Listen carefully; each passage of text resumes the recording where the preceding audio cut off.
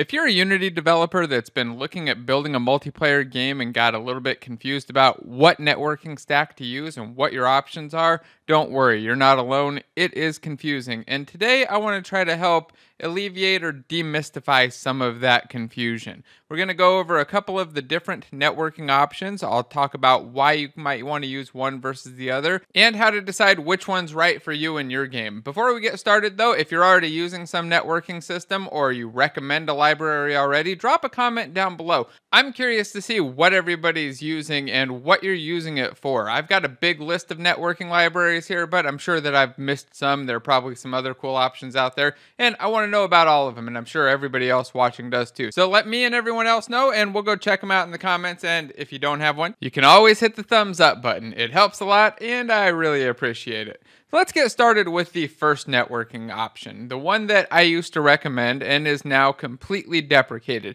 I want to talk about it and just tell everybody not to use it. That's UNet. This was the old networking library provided by Unity. It used to be built in, and then it slowly got kind of separated out, and now it's kind of in limbo. It was deprecated years ago, going to be replaced with an ML API and an LL API and an HL API these different levels of APIs for networking, and those never really took off either. So the built in options just kind of died. That's changing in a little bit. We'll talk about that in a moment. There is, however, an alternative. If you used UNet or you're looking at UNet and you thought maybe this was the perfect option, then there's Mirror. Mirror was built to replace UNet well, I think it was built to replace UNet. I'm not sure the actual reason it was built, but its general use has been that it's replaced UNet. For all of the people who wanted to use UNet or were using UNet when it got deprecated, they were able to switch over to Mirror, get some performance benefits, and have a very similar workflow. It allows you to send messages back and forth with RPCs, sync up variables, and do the basic multiplayer stuff that you would want to do.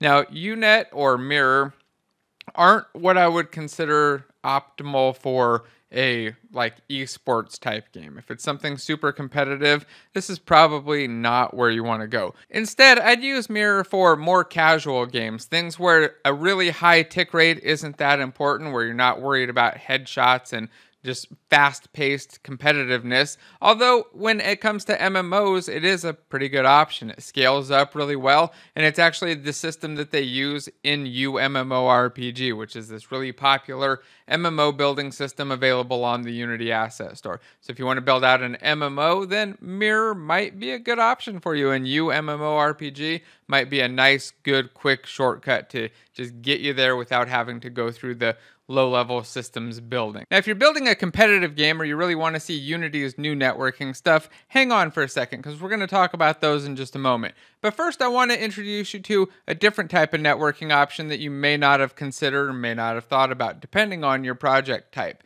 And that actually comes from this video sponsor, Stream which makes it easy to build in multiplayer chat to your game or application. They have their own scalable backend system, so you don't have to worry about spiking player activity. They already handle billions of players concurrently right now.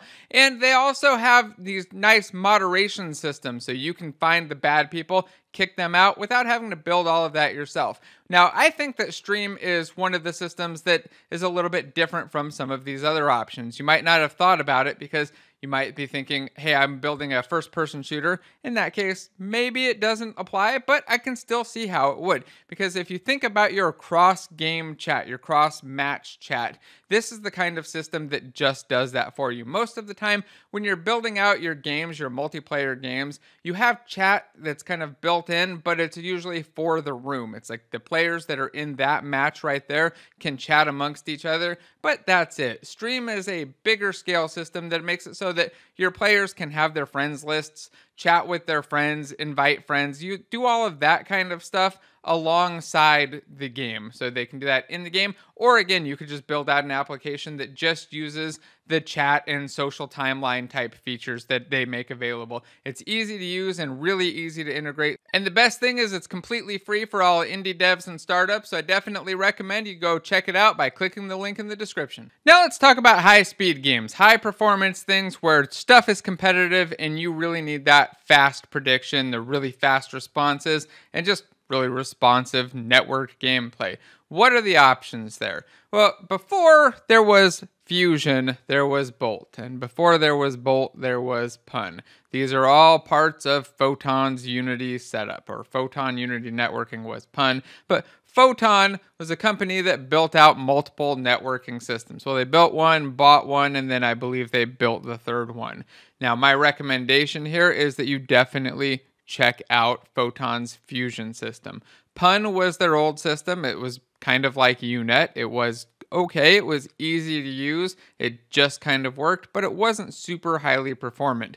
Bolt was the next level on top of that, where they started making things, I'd say, faster, better. Although I didn't really dive into it, I had quite a few friends who used Bolt and swore by it. If you used it and had some thoughts on it, I'm kind of curious too. But then they released Fusion, and Fusion is from what I understand, they're top of the line and one of the fastest networking options available. It allows you to do really fast, low latency messaging, good client side prediction, good server prediction, and it seems like it just works like Photon or like Pun. So it Seems like one of the best options, although it isn't free. So if you're curious for a free option, we'll talk about some of those later. But Photon is a very good default option for me. It's something that I am going to be looking into personally. I'm going to be trying to build out a game with Photon Fusion myself to see what that process is like, see what I like about it, what I don't like about it, and maybe the game will be fun. But I'm also curious if you've used photons libraries in the past and maybe have some experience with fusion drop a comment down below and let us all know how that is and, and how it's been has it been as fast and performant as you expected and as easy to use as you expected i i wholly anticipate that it will be the default option and right now it's the one that I am kind of pointing people to as a default, mostly just because of recommendations from friends and the rest of the community. What about Unity though? They must be working on some built in or default option, right? Well, actually, they are. Ever since they killed UNet, they've gone through a couple different revisions. I mentioned, I think earlier, they did a couple different APIs. None of them really took off, but now they're working on a new system, or there's a new system that's getting close to releasing. And I believe the last time I saw it, the name was Netcode for Game Objects. I believe there's a netcode for dots and a netcode for game objects. But netcode for game objects, from what I understand, is actually coming sometime relatively soon. We should be getting some announcements and news about that. I expect it to be high performant, just like Photon Fusion, and allow me to do all of those cool things plus matchmaking and other interesting stuff, but I'm not completely sure what to expect yet. In fact, I have a talk coming up with the Unity people to find out if they can maybe present about this at Game Dev Guild and share some of the info that's coming out, maybe give you guys a sneak peek of what's coming from UNet or not UNet, netcode for game objects, and what what to expect and how to get ready to start using that. See if that's an option for you. So if you're interested in that, make sure you check out Game Dev Guild. Join us live in May and you'll be able to ask them questions directly about it. I'm really curious. I'm interested. I want to see what the default is for new Unity. Is it going to be some new super fast, easy to use, high performance thing? Or is it going to be something that's more tailored to specific game types and I need to like use a starter pack for it or figure exactly where we're going to be? So, again, that's interesting to you. Make sure you check out Game Dev Guild and I'll see you there.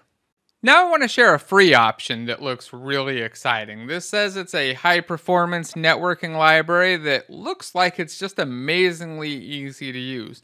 This looks like the kind of networking library that I would want to create if I were designing a networking library.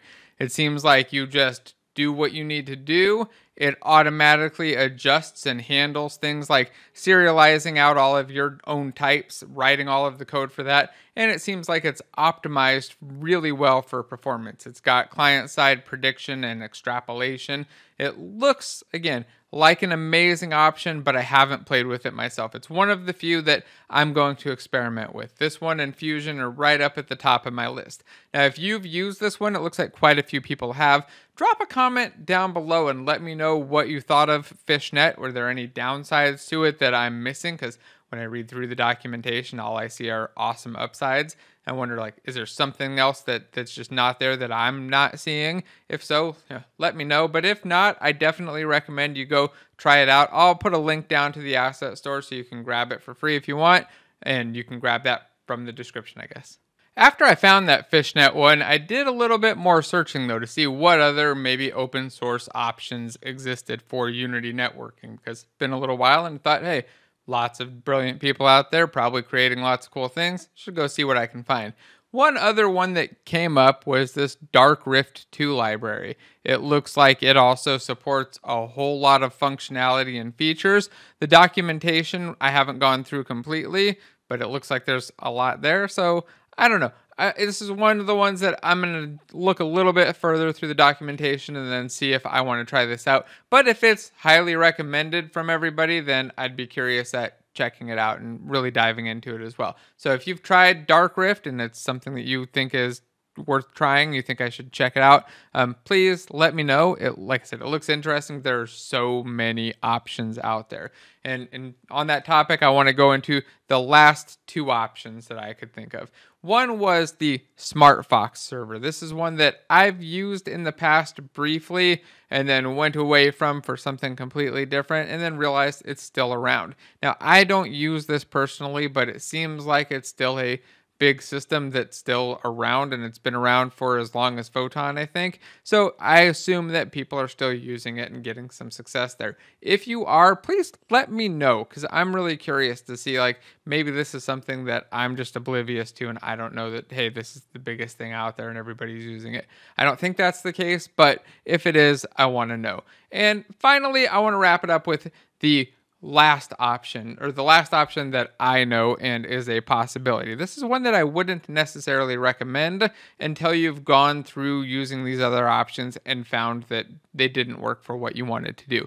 And that is to roll your own system. You can write your own networking code, send your own TCP and UDP messages, deal with sockets directly, and do all of that work but it's a lot of work. All of these libraries deal with that for you. They wrap that up into something that's manageable so you can focus on your game and not on the networking library. And if you're not really heavy into like you you want to be a networking person, you just really want to write network code, you're not in that mindset, then I would definitely not recommend it because writing good network code is a skill. Writing bad network code is very easy. Whatever you write the first couple times is going to be bad. It's going to take years of revision and practice to get something where, we would consider it to be good. And to get it to the point where you're competing with these other options, it's going to be probably a lifetime realistically depending on the person. I know a couple people who can code these systems and as you can see some of these open source systems are done by a single person. But 9 out of 10 people are not going to be coding this and the 1 out of 10 they really need to dedicate and focus on this. They need to have the networking system built around a game or something like that. So i wouldn't recommend it but you can build your own. That said, let me know what networking systems you're using. If you've got one that you highly recommend, please drop a comment down below. I want to know about it, and I think that everybody else would really appreciate it. And remember, if your game or application has any chat at all, make sure that you go check out the free Maker account from Stream by clicking the link in the description.